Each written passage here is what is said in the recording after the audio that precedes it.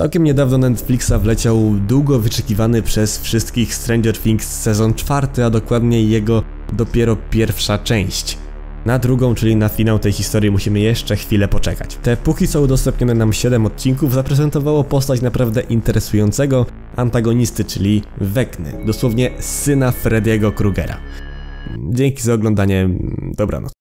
Jednak kim tak naprawdę ten w cudzysłowie syn Freddy'ego Krugera jest? Jaką pełni rolę w tej historii, a także skąd tak naprawdę się wziął, jaka jest jego przeszłość i co być może zaprezentuje nam w kolejnych dwóch odcinkach, które e, jeszcze przed nami.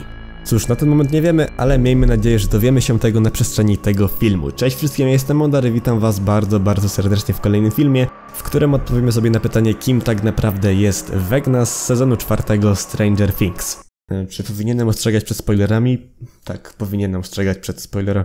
Spoiler alert, w filmie znajdują się duże spoilery z serialu, zatem jeżeli jeszcze go nie oglądałeś, to czym prędzej wyłącz ten odcinek i wróć tu dopiero gdy obejrzysz całość, chyba że spoilery ci nie straszne i masz na to wszystko wywalone, to możesz zostać. W każdym razie jeszcze raz, żeby nie było, w filmie znajdują się totalnie wielkie spoilery. Nim zaczniemy, wszystkich serdecznie zapraszam na mojego Instagramka, drugi kanał i całą resztę, wszystkie linki macie w opisie tego filmu. Tymczasem ja zachęcam Cię do zostawienia kciuka w górę pod tym filmem, a także suba na kanale, jak jesteś tutaj nowy. Tymczasem ja już nie mam zamiaru przedłużać, moi drodzy, rozsiądźcie się wygodnie, albowiem przed Wami odpowiedź na pytanie, kim tak naprawdę jest Vecna ze Stranger Things, sezon czwarty. Zasadniczo Vecna jest takim Freddym Krugerem, tylko mocno przepisanym, żeby pasował do świata Stranger Things. Mam nadzieję, że wiecie kto to Freddy Krueger, natomiast jeżeli znajdują się tutaj jacyś ignoranci, Freddy Krueger jest tak naprawdę postacią, głównym złym w serii horrorów Koszmar z ulicy Wiązów, takie wielkie klasyki z lat 80. No, nie tylko z lat 80., ale to pomijmy. Już gdzieś coś kiedyś o nim więcej powiedziałem, więc w razie czego odsyłam tutaj, o ile da się to jeszcze oglądać, ale tak zasadniczo Freddy był w przeszłości mordercą dzieci, yy, których rodzice wkurzyli się na niego i go spalili, a później chłop nawiedzał yy, wnuki swoich morderców w snach, a później sobie stamtąd uciekł i nawiedzał kogoś innego, potem się bił z takim innym ziomkiem, yy, którego też powinniście znać i w zasadzie na jego temat to tyle. Jak ma się to do Wegny? Cóż, oboje wyglądają dość podobnie, jeden i drugi ma spaloną mordę. Dobra, trochę poważniej. Przede wszystkim Vecna mocno przypomina Freddy'ego wyglądem, bo oboje mają pomarszczoną, no dosłownie spaloną twarz. I zresztą, no nie tylko twarz, no spójrzcie na to, no to samo, tylko bez kapelusza i słynnej rękawiczki. A nie, w sumie Vecna też ma takie ostre palce, tylko że organiczne.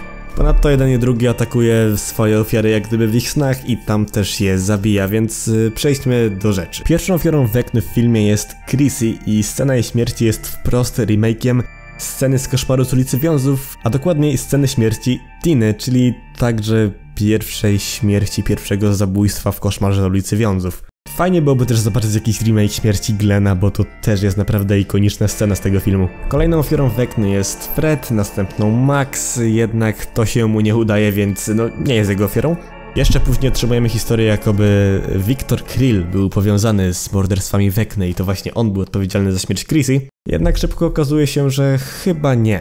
Bowiem w Hawkins utarła się legenda, jakoby Victor Krill zamordował całą swoją rodzinę swoim domu, bo mu trochę odwaliło, troszeczkę jak Michael Myers przed laty, no wiecie o co chodzi. Jednakże w scenie, kiedy Nancy i Robin idą na rozmowę z Victorem, okazuje się, że całe to wydarzenie miało całkiem podobną strukturę względem zabójstw Wegny, o których więcej troszkę później. Natomiast jego ostatnią ofiarą jest Patrick. Co ważne, w każdym z miejsc, gdzie Wegna dopuścił się morderstwa, powstaje portal łączący naszą Ziemią z drugą stroną. A łącząc ten fakt ze słowami Owensa, który twierdzi, że w Hawkins zbliża się wojna, możemy wywnioskować tylko jedną małą rzecz. Przez portale, demogorgony, inne przydupasy i cała reszta tego ścierwa przyjdzie na ziemię i w ostatnich dwóch odcinkach będą się nadupcać, e, co więcej. Ponadto tak jak Dustin stwierdził, jak Demogorgon był szeregowym, tak Vecna jest kimś w rodzaju pięciogwiazdkowego oficera w całej tej hierarchii armii łupieżcy umysłów. Łupieżca umysłów to jest taki największy tam przeciwnik Stranger Things i jeżeli byście chcieli, to mogę też zrobić film na jego temat, bo w sumie wiemy o nim całkiem sporo i jest całkiem, no, może nie jakoś mega ciekawy, ale E, można o nim trochę powiedzieć. Przejdźmy zatem do wyjaśnienia sposobu działania Wekny i dlaczego jest tak podobny do tego, jak działał Freddy Krueger. No, to jest proste, bo zabija swoje ofiary we śnie, tak jakby. Na 24 godziny przed śmiercią ofiara zaczyna doświadczać wizji, a także pewnych objawów bycia obsesją Wekny. Do takowych objawów zalicza się m.in. krwawienie z nosa, doświadczanie pewnych wizji, m.in. zegara, który znajduje się na drzwiach dawnego domu Wiktora Krilla, gdzie miejsce miała masakra. Ponadto ofiara cierpi również na bóle głowy, jednakże głównym środkiem prześladowania jest przede wszystkim widzenie swoich traum, o ile to zdanie będzie miało oczywiście jakikolwiek sens. Przykładowo Max obwinia się o spowodowanie śmierci swojego brata. Billiego, zatem Wekna żeruje na tym i straszy ją właśnie wizjami z Billim, czy innymi członkami jej rodziny. Fred obwinia się o spowodowanie wypadku, w którym zmarło dziecko, zatem Wekna straszy go właśnie wizjami płonącego samochodu, czyli krócej mówiąc wypadku, który spowodował. Nancy może obwiniać się o śmierć Barb w pierwszym sezonie serialu i właśnie to także widzi. Basen, czyli miejsce, gdzie Demogorgon zamordował Barb. Bardzo, bardzo podobnie jak w Koszmarze z ulicy Wiązów, prawda? Wiktor Krill natomiast w dniu tej okropnej tragedii widział rzeczy, których doświadczył w trakcie przebywania na froncie, podczas II wojny światowej. Po 24 godzinach od pierwszej wizji Wekna zjawia się. Ofiara traci świadomość, a jej ciało zostaje uniesione do góry, natomiast jej w cudzysłowie forma astralna, czy na przykład jej sen, czy cokolwiek zostaje przeniesiona do świata po drugiej stronie, gdzie spotyka Weknę, która zabiera ją ze sobą. Po prostu, totalnie jak Freddy Krueger w snach. A następnie sama ofiara znajduje się jak gdyby w filarach jego domku czy coś. Tam, po drugiej stronie, gdzie wbiegła Max, gdzie nie powinna się nigdy znaleźć. Z ciałem ofiary natomiast dzieją się straszne rzeczy, między innymi yy, jej oczy zostają wciągnięte do środka, a jej kończyny połamane. Naprawdę okropna rzecz. Jednakże istnieje pewien sposób, by uciec temu, tak jak to zrobiła Max czy Victor Krill i jest to właśnie w cudzysłowie pogodzenie się ze wspomnieniami. W serialu natomiast jest to sprowadzone do usłyszenia ulubionej piosenki i e, pomyślenia o swoich przyjaciołach że mm, dobro zawsze wygrywa mm, i zło przegrywa i na tym się to wszystko kończy. A propos, widzicie tą chatę? E, Dustin, całkiem słusznie zresztą, porównał ją do kotłowni Freddy'ego Krugera, czyli tego miejsca, gdzie sam przebywa. W cudzysłowie. Szczerze, trafne porównanie. I w sumie propos Wegny to chyba byłoby wszystko. Pradawny demon, od lat żyjący po drugiej stronie, który na początku zabił rodzinę Wiktora Krilla, w roku 1959, natomiast w 1986 powrócił, by dalej szerzyć mordy w Hawkins, by otwierać portale za każdym razem, kiedy kontaktuje się ze swoją ofiarą, w celu przyszłego ataku Mindslayera i całej drugiej strony na nasz świat. Yy, proste i głupie, prawda? Jednak kim tak naprawdę jest Wegna, skąd się wziął, jaka jest jego przeszłość i kim był wcześniej? I nie, na pewno nie był upadłym czarodziejem.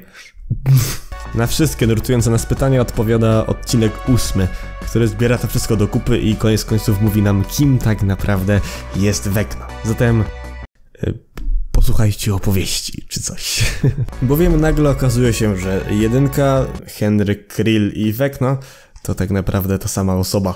Ale może zacznę od początku. Bowiem ostatni odcinek sugeruje dokładnie to, czego mogliśmy się już spodziewać od yy, całkiem dawna. Wiktor Krill absolutnie wcale nie był odpowiedzialny śmierci swojej rodziny, a za wszystkim stał jego syn, Henry Krill. Wiedziałem, że on jest sus. Gościowi coś się odkleiło i już od bycia małym dzieckiem wykazywał pewne dziwne zdolności, podobne do tych, które wykazywała chociażby jedenastka. W sensie, nie wiem, mógł podnosić rzeczy za pomocą swojego umysłu albo straszyć ludzi wizjami tych przeszłości i właśnie mniej więcej to zastosował w kwestii swojej matki i siostry. Na takiej zasadzie, że te zginęły z jego ręki, sam popadł w sześciodniową śpiączkę, a jego ojca Wiktora Krilla uznano za winnego tych wszystkich zbrodni. Stwierdzono, że gościu oszalał i zamknięto go w psychiatryku, w którym też nieco później odwiedzają go Nancy i Robin. Co interesujące, rolę Wiktora Krilla odgrywa nikt inny jak Robert Englund, czyli ten sam gościu, który wcześniej w koszmarze z ulicy Wiązów 1, 2, 3, 4, 5. Ostatnim koszmarze nie, nie był ostatni, bo jeszcze w nowym koszmarze i e, Freddy kontra Jason wcielał się we Freddy'ego Krugera, czyli w gościa, na którym Vecna jest prawdopodobnie wzorowany. E, wobec tego stary morderca jest jakby ojcem tego nowego, więc e, fajnie. Po zapadnięciu w śpiączkę wszyscy stwierdzili, że Henry nie żyje, natomiast no było inaczej, bowiem gościa przewieźli do laboratorium w Hawkins, gdzie został jedynką i pierwszym eksperymentem e, doktora czekaj, jak miał na imię? Doktora Brennera. Sam stał się na tyle fascynujący, że gościowi pobrano krew jak gdyby stworzono jego kilku klonów, e, no dużo klonów, jednym z nich była chociażby jedenastka, czy dwójka, piątka, czwórka i tak dalej. Jednakże jak na przestrzeni serialu dowiadujemy się, jedynka nie była zbyt posłuszna troszeczkę jak jedenastka, więc jak gdyby poszła trochę w niepamięć. W gościa wszczepiono specjalny implant, który blokował jego moce. Implant ten nosił nazwę Sotiria, a gościu pozbawiony swoich mocy został przydupasem Brannera. I to na długie lata do czasów aż zaprzyjaźnił się z jedenastką i robił do niej pewne podchody, by po czasie powiedzieć jej, że Branner chce, by walczyła, bo chce ją zabić, czy coś koło tego. Zatem w trakcie ucieczki z Hawkins Lab ta chce się jakoś mu odwdzięczyć, więc za pomocą swojej mocy unieszkodliwia jego implant i od tej pory jedynka już ma swoje moce. Wobec tego gościa znowu trochę odkleja i morduje wszystkich w Hawkins Lab. No, prawdopodobnie wszystkich.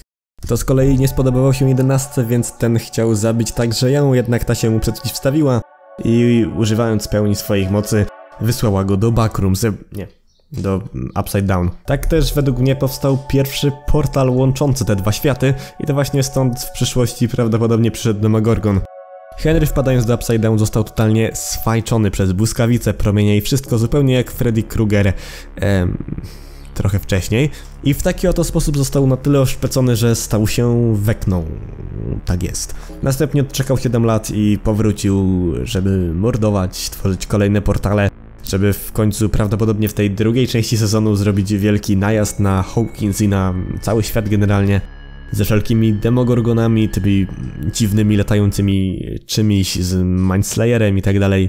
No, generalnie ciekawie. No i to w sumie tak naprawdę tyle propos tego gościa, bo właśnie w tym momencie po ujawnieniu tej informacji kończy się sezon czwarty, e, w sensie jego pierwsza część, więc na jak gdyby dalszą część musimy poczekać do 1 lipca. Szczerze mówiąc, wszystko co pokazało póki co Stranger Things 4 odnośnie Wegny naprawdę mi się spodobało, mimo faktu, że nie było to zbyt oryginalne albo jakieś odkrywcze, bo sam już zacząłem mniej więcej domyślać się o co chodzi, od kiedy pokazano nam tego gościa, bo no umówmy się, po coś został tutaj pokazany tak wcześnie. I ponadto sam fakt, że w trakcie sceny, gdzie Krill w swojej celi mówi o tym, co przytrafiło się jego rodzinie i jak dużo wspomina o córce i o matce, a niewiele o synu, to wydawało mi się to jakieś takie podejrzane. Więc no jak gdyby zbyt odkrywcze to wszystko nie było, ale i tak podobało mi się.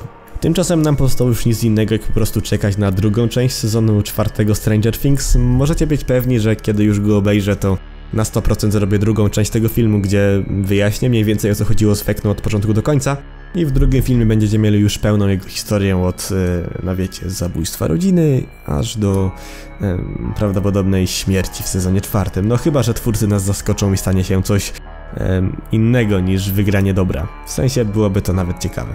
No i cóż, tymczasem to już byłoby chyba na tyle w dzisiejszym filmie. Dzięki wielkie za oglądanie. Jak film Ci się spodobał, zostaw pod nim kciuka w górę, a także suba na kanale, jak jesteś tutaj nowy. Wpadaj na mój drugi kanał Instagrama i całą resztę, wszystkie linki macie w opisie tego filmu. A ponadto dajcie znać, jak Wam siadła pierwsza część sezonu czwartego Stranger Things. Czy Wam się podobało, czy może Was to zawiodło? Szczerze, mi siadło to naprawdę mega fajnie. Może nie był to jakiś najlepszy sezon czy coś, ale szczerze to mega stęskniłem się za tymi postaciami. A sam fakt, że sezon czwarty uderza w bardziej horrorowe klimaty od całej reszty naprawdę mi się mega spodobał, więc sezon czwarty jak najbardziej myślę, że jest jednym z tych lepszych sezonów Stranger Things. Mimo faktu, że wszystkie były świetne, poza tym fajnie znowu zobaczyć Hoppera, nie? Tymczasem my słyszymy się w kolejnych odcinkach. Jak dobrze pójdzie w tym tygodniu, zobaczycie jeszcze dwa materiały na temat backrooms na tym kanale, które będą odnośnie dwóch e, fajnych poziomów, o których wyjaśnienie prosiliście mnie od jakiegoś czasu.